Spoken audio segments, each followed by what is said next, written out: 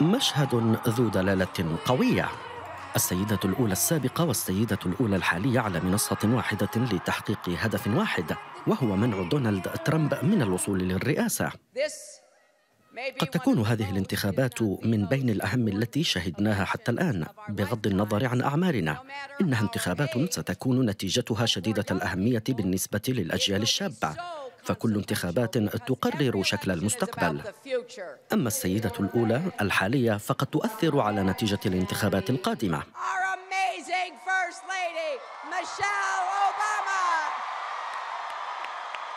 إنها أهم المؤيدين لكلينتون.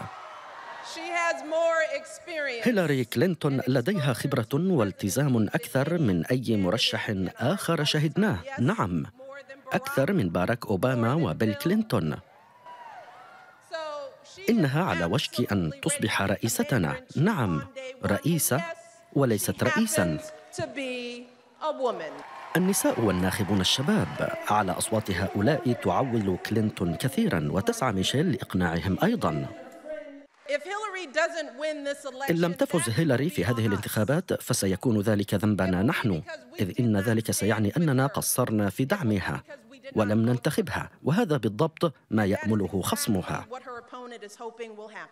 ترامب يحاول ثني المواطنين عن التصويت كما تقول ميشيل وهيلاري كلينتون تدرك مدى تأثير هذه الكلمات. فشعبية السيدة الأولى ستساعدها كثيرا قبل فترة وجيزة من موعد الانتخابات.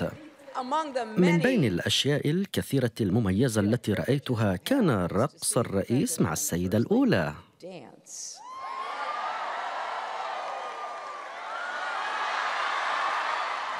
أعلنت كلينتون أنها معجبة بحديقة الخضار التي زرعتها ميشيل أوباما في البيت الأبيض ووعدتها بالحفاظ عليها إذا فازت بالانتخابات.